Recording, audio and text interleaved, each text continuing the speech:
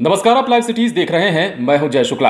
बिहार में किसान बिल का मुद्दा गर्माता जा रहा है। आपको बता दें कि तेजस्वी यादव ने पहले ही ऐलान कर दिया था कि किसान बिल के खिलाफ वो बिहार की सड़कों पर उतरेंगे, इतना ही नहीं।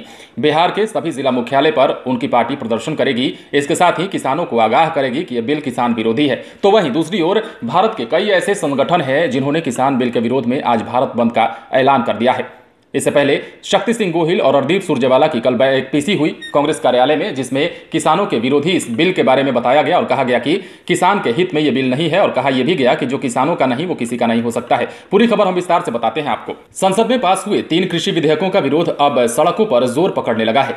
भारतीय किसान यूनियन समेत विभिन्न किसान संगठनों ने शुक्रवार, यानी कि आज, पच्चीस सितंबर को भारत बंद का ऐलान किया है।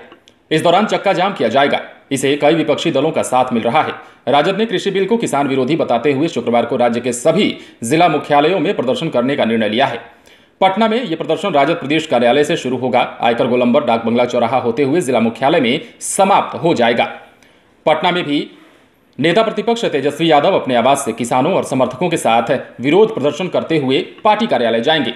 तेजस्वी यादव ने आरोप लगाया कि एनडीए सरकार लगातार गरीब और किसान विरोधी फैसले ले रही है। संख्या बल का इतना गुमान है कि बगैर किसानी संगठनों और राज्य सरकारों से राय मशवरा किए ही कृषि क्षेत्र का भी निजीकरण, ठेका प्रथा और कॉरपोरेटीकरण करने में आतुर है।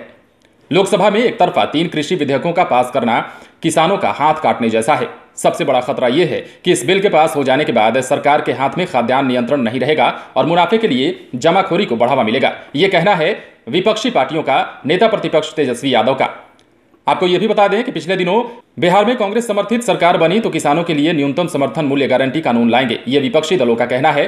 आपको यह भी बता दें कि पिछले दिनों जब कांग्रेस की बैठक हुई सदाकत आश्रम में कांग्रेस कार्यालय में तो उस दौरान भी किसानों के मुद्दे पर सरकार को घेरा गया और कहा गया कि किसान विरोधी बिल जो है सरकार किसानों के हित में नहीं है। और इसीलिए सभी विपक्षी पार्टियाँ, पार्टियों के साथ साथ देश के कई ऐसे संगठन हैं जो आज भारत बंद का ऐलान कर चुके हैं।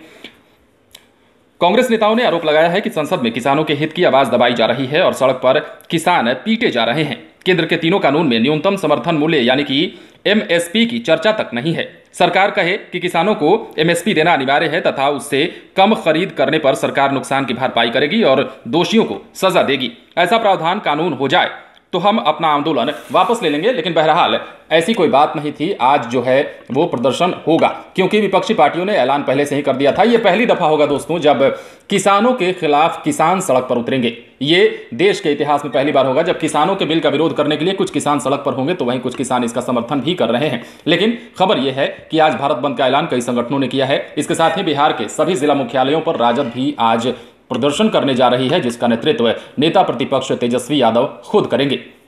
अगर आपने चैनल को सब्सक्राइब नहीं किया है तो सब्सक्राइब कर लीजिए। अगर आप ये वीडियो फेसबुक पर देख रहे हैं तो पेज को लाइक करें। इसके अलावा आप हमें ट्विटर पर भी फॉलो कर सकते हैं। धन्यवाद।